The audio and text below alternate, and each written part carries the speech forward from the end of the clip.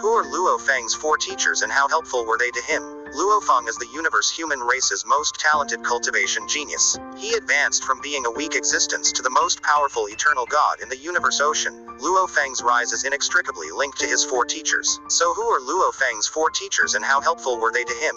Number 1. Huyanbo. Huyanbo is originally an extremely strong official undying in the universe. Although he is already such a rare powerhouse among the high cosmic empires, his strength is not considered strong in the universe. Although Huyanbo's strength is lacking, he left all his wealth, cultivation resources and secret techniques to his last heir Luo Feng. After all, he and his chosen heirs were all dead, although it is nothing to Luo Feng in the future. Luo Feng would not be able to break out of the earth and see the vastness of the universe without Hu Yanbo's inheritance. Number 2. True Yan Emperor. Although True Yan Emperor is also an undying powerhouse, he is an invincible undying emperor. Compared to Hu Yanbo, the difference in strength is like the difference between heaven and earth. Moreover, even limit immortal emperors will be terrified upon hearing his name. True Yan Emperor's strength is considered invincible under Universe Venerable level. When Luo Feng joined the Virtual Universe Company, True Yan Emperor discovered Luo Feng's talent when Luo Feng passed the Tongtian Bridge, so he secretly gave him some help during his cultivation. Under the guidance of True Yan Emperor, Luo Feng's strength increased day by day. In order to thank True Yan Emperor for his kindness, Luo Feng worshipped him as his teacher. After getting such a qualified disciple, True Yan Emperor was naturally extremely happy.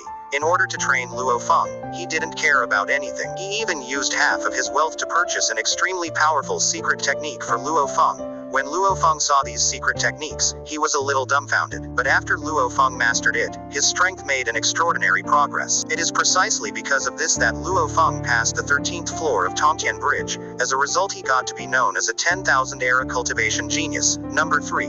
Primal Chaos City Lord. Primal Chaos City Lord's power is far beyond that of true Yan Emperor and Huyanbo. He is originally a disciple of the human race's original ancestor. At the same time, the Primal Chaos City Lord is also the most powerful existence among original ancestors' disciples, being a peak 5th tier universe master. The Primal Chaos City Lord can be called the second strongest to the human race. After Luo Feng passed the 13th floor of Tongtian Bridge, his talent got discovered by the Primal Chaos City Lord. As a result, the Primal Chaos City Lord accepted him as his disciple. With the talent shown by Luo Feng, the Primal Chaos City Lord became more and more partial to Luo Feng. He even gave a true treasure such as Shi Wu wings to Luo Feng. Not only that, Primal Chaos City Lord also helped Luo Feng in creating his own ultimate techniques. It is also under the teaching and favor of the Primal Chaos City Lord that Luo Feng's power rapidly rose. Number 4. Zuo Shan Ke. Zuo Shan Ke's power is not comparable to that of the powerhouses in the original universe. His true identity is the Lord of the Jin God Kingdom from the land of origin. In its heyday, Zuo Shan Ke was even a God King powerhouse. It's a pity that he was later killed by the three God Kings of the Shi God Kingdom. In order to be able to return to the land of origin for revenge, Zuo Shan Ke began to train talented youngsters in the original universe. After Luo Feng passed the test of Star Tower, Zuo Shan Ke accepted him as his third disciple. Facing this talented third disciple, Zuo Shan Ke not only taught him a secret method such as 9-volume manual that can upgrade one's life genes, but also gifted him with true treasures such as Star Tower, Force Armor and Ancient God Eye. Not only that, he also provided Luo Feng with series of training. It is precisely because of this that Luo Feng was able to reach the legendary level of Eternal True God.